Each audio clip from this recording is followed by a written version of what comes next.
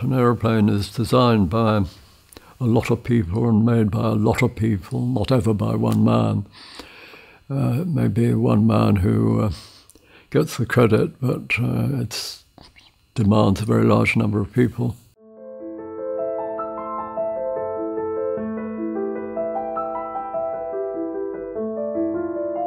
When the war came, I was still at school, of course, and we were evacuated to a village about 30 miles away from Hull. So There was rationing, all sorts of excitements, clothes rationing, food rationing.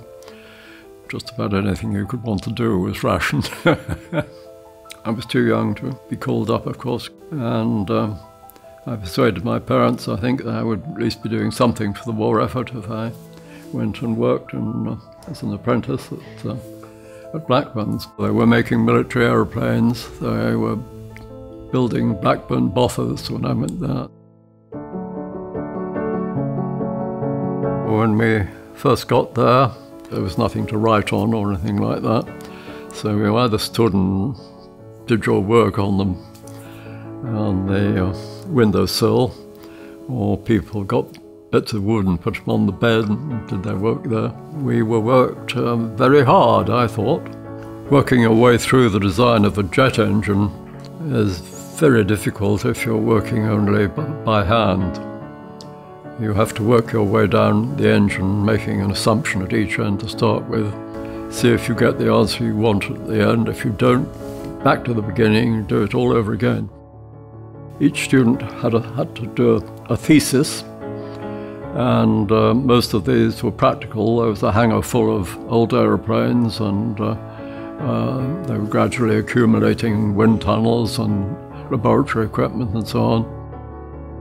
One learned a lot, of course, from uh, different students. They'd all got different backgrounds by then in various aspects of aviation. A number of service people there as well. I think it was a good competitive spirit amongst the students. Well, it was excellent. I mean, it widened your vision of the world and aviation in particular, and there was always somebody who knew you more than you did about any particular topic, either amongst the students or amongst the staff. There was a great get together, uh, students and staff, and uh, we have the menu here, a copy of the menu which has been signed by as many of the people present who could still hold a pen. And uh, it serves to remember all these good people.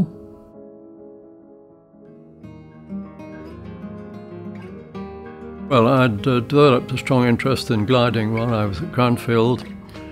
The most promising gliding club at that time were Vickers at Weybridge and Hawkers at Kingston. I was offered a drawing office job at Kingston.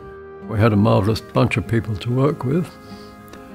They were, I can't tell you how many of them, one time or another, had said that they would have worked for nothing if they could stay alive that way, you know. And uh, I thoroughly enjoyed it.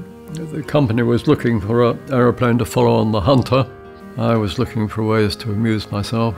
A brochure on the BE 53 engine came, I was the only person who you could say took it seriously. We proved it was mechanically possible on the 1127 prototypes.